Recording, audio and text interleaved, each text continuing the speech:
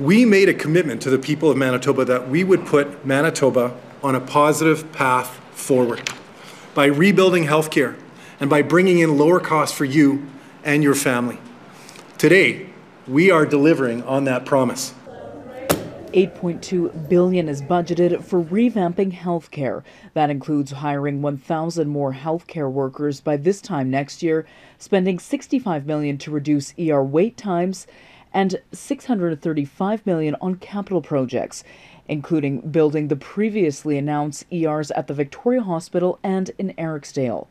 There are also promises for two new personal care homes in Winnipeg, one in Arborg, and the previous announced facility in Lac du Bonnet. Money has also been set aside for a supervised consumption site. It could open sometime next year. The Premier confident Manitoba has the incentives to attract healthcare workers. Let's face it, we have a real competitive advantage in housing. Even a physician cannot buy their own home in Vancouver these days. But a nurse, a healthcare professional, a healthcare aide can still afford to buy a house here in Manitoba. On affordability, the province is extending the gas tax cut for three months, saving you about 14 cents a litre at the pumps. Tax credits are increasing for renters and seniors. MPI premiums are going down by 5%. Rebates are being offered for buying new and used electric and hybrid vehicles, and prescription birth control, as previously announced, will be free. One major change in 2025 the school tax rebate and education property taxes will be axed in favor of a new homeowners affordability tax credit that could save some homeowners up to $1,500.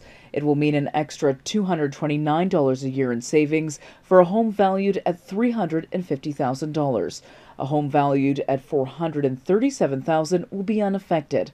Above that, it will start to cost more, up to $1,000 more for a home valued at $850,000.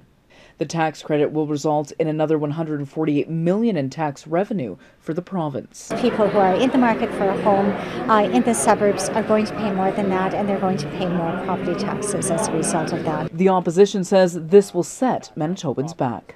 Yes, they're giving a bit of a rebate, but actually, when you really drill down to it, it's going to be a significant um, loss to Manitobans, and I think it's going to hurt more people than it's going to help. The budget has also committed to conducting an inquiry into the construction of the Winnipeg Police headquarters, although no timeline was provided for that.